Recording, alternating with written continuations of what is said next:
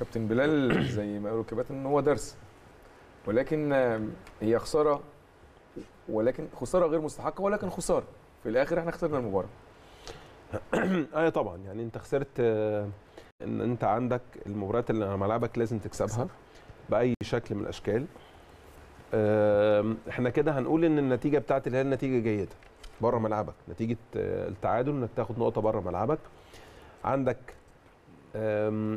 ادفانتج ان إن المريخ المباراتين هيبقوا هنا في القاهرة.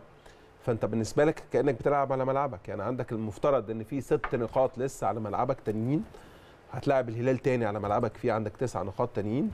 عندك مباراة للصقر من سان داونز هناك على ملعبه. عادي جدا في كرة القدم إنك تخسر مفيش مشكلة يعني يعني كرة القدم مكسب وخسارة ولكن يعني لازم نبقى إحنا فاهمين إحنا ليه خسرنا النهارده؟ بالظبط. وهل ممكن كنا ممكن نكسب ولا لأ؟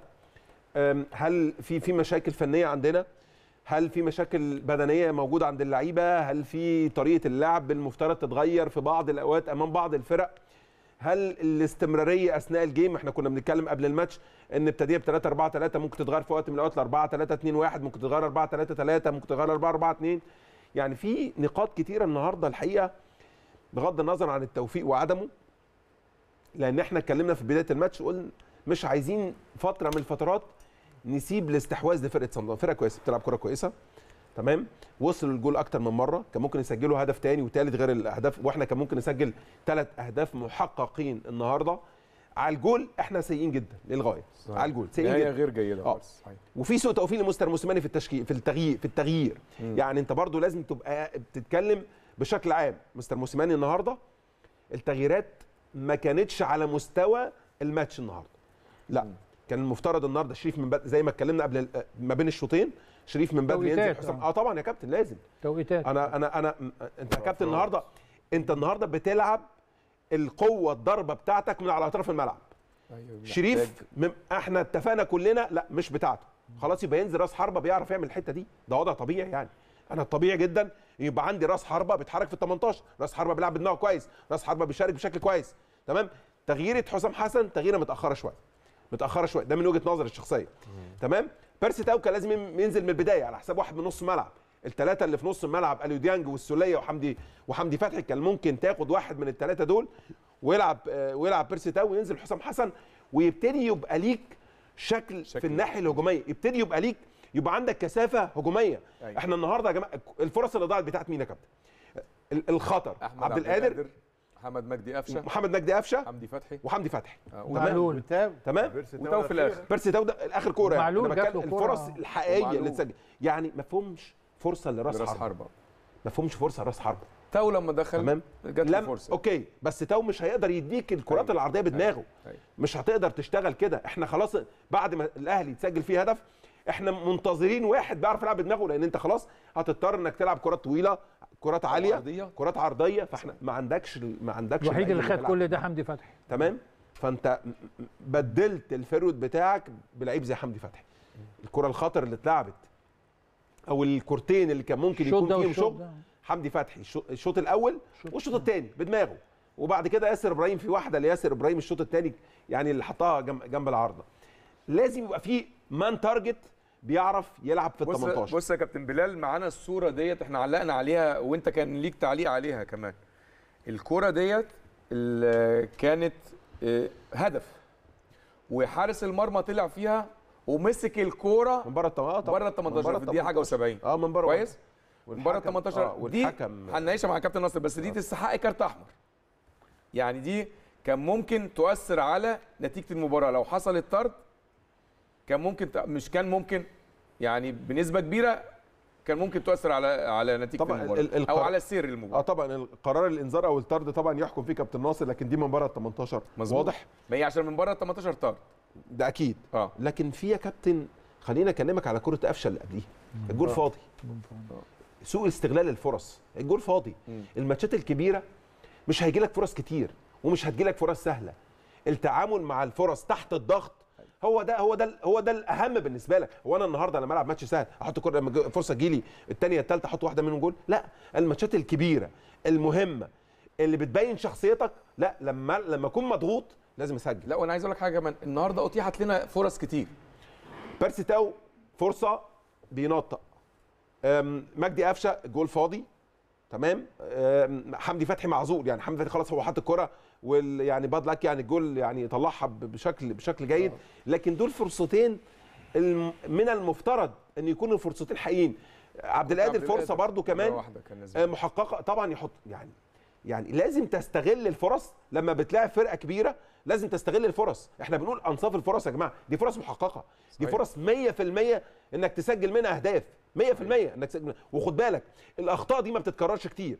أيوة. يعني الفرص اللي أتيحت للأهلي النهارده عبارة عن عبارة عن أخطاء من فرقة سان داونز تمام؟ إنما أنا بتكلم بقى في الجانب الشق الهجومي يا كابتن أيمن. معلش يعني خليني spot على الحتة دي لأن ده أمر مهم جدا.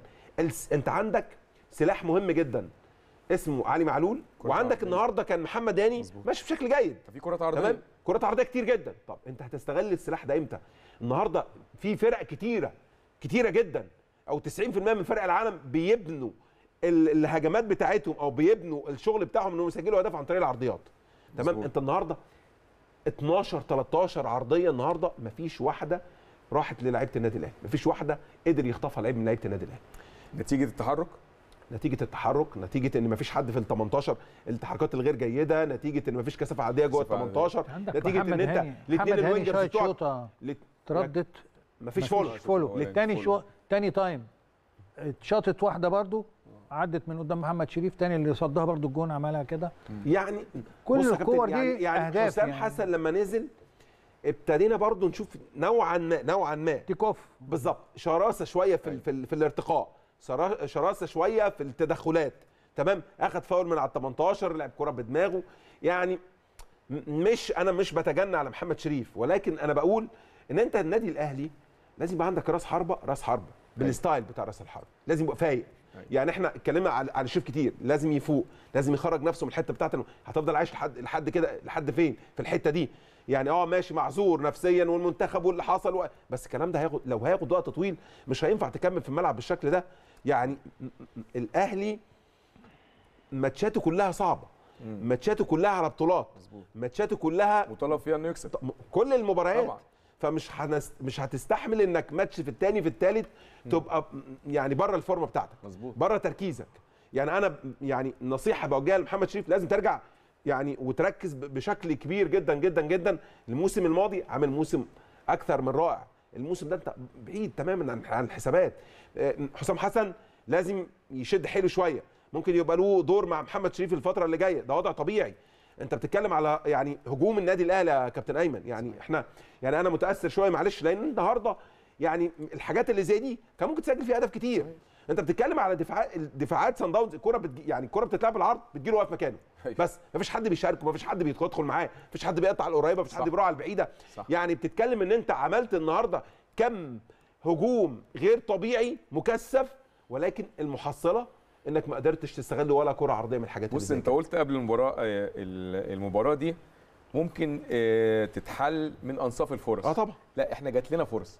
ثلاث فرص 100% محققين. مش 90% 100% م- يمكن أكتر كمان يا كابتن. عبد القادر الجول فاضي. مجدي. قفشة الجول فاضي. بيرسي تاو انت والجول مواجه. يعني أيوة. طب ما فيش فرص إيه. علي معلول. علي معلول واحدة برضو انت خدت بالك من الضربة الثابتة اللي لعبها معلول لبيرسي تاو مسكها زي ما يكون حاسس إنه كان offside ولا إيه وراح آه آه اللي هي تولد. البينية الاخرانيه اللي تولد. البينية، آه ال- ال- آه، اللي. جه يوقفها تولد ده هدف أيوه يعني فرص كتيرة يا كابتن أيمن يعني الحقيقة يعني الحقيقة يعني ماشي وارد في كرة القدم إنك تخسر وارد على فكرة يعني طبعا. خد بالك وارد إنك تخسر في كرة القدم لكن برضه لازم نبقى إحنا عارفين إحنا خسرنا ليه لازم نعرف إحنا ما خسارة. بنسجلش ليه أيوة. تمام يا كابتن خسارة بقول يعني آه طبعا خسارة خسارة معلش. بس لازم خسرت ماتش أنت كنت ليك التواجد في خاصة في الشوط الثاني يعني إحنا في الوقت يا انت كابتن بعد- إحنا بعد تلت. إحنا قربنا آه إحنا طبعا. في الوقت اللي إحنا. كنا بنقول إحنا قربنا وخلاص إحنا هنكسب وقت جول هنكسب أي هنكسب وقت.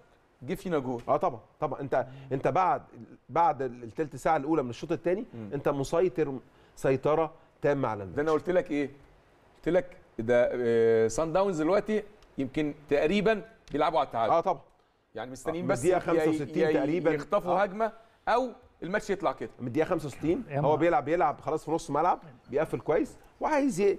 وعايز يبني هجمة يلعب على هجمه مرتدة سريعة وقدر إن هو ي... ونجح في الحقيقة في ال... في إن هو يروح مرتين ثلاثة على الجول على فكرة.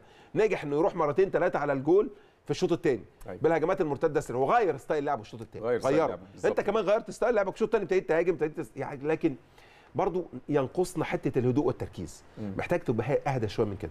محتاج تبقى مركز أكتر من كده شوية عشان تشوف الملعب بشكل كويس عشان تعرف تقرأ كويس ال- ال game. أنت كلعيب مش بتكلم عن المدير الفني بس. يعني آه مستر موسيماني تغييرات النهارده غير موفقة من وجهة نظري.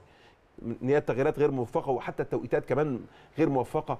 لما أكون أنا النهارده شايف إن أنا يعني عندي راس حربة بره بيعرف يلعب بدماغه لازم أستغله من بدايه حتى لو أسيب شريف في الملعب على فكرة.